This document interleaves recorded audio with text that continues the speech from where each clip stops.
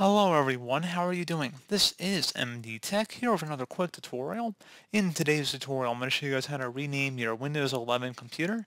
So this should hopefully be a pretty straightforward process here guys, and without further ado, let's go ahead and jump straight into it.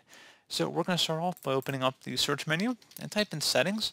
Best result should come back with settings. Go ahead and open that up. On the right side, you want to scroll down near the bottom where it says about. Go ahead and left click on that and then select where it says rename this PC, this little button up at the top.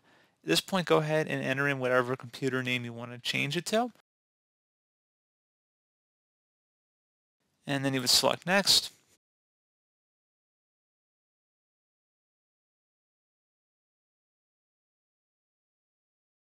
And then once you restart your computer, the change should take effect. So we go ahead and restart now.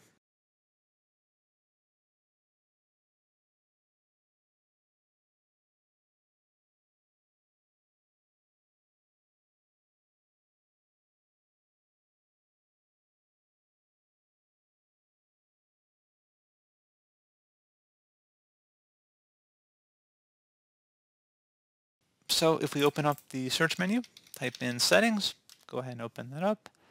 You see our computer has been renamed. You could select the rename button here as well, but if we go down to about and then select rename this PC, it'll tell you the current PC name in pretty clear and no uncertain terms. So pretty straightforward process guys. I do hope that I was able to help you out and I do look forward to catching you all in the next tutorial. Goodbye.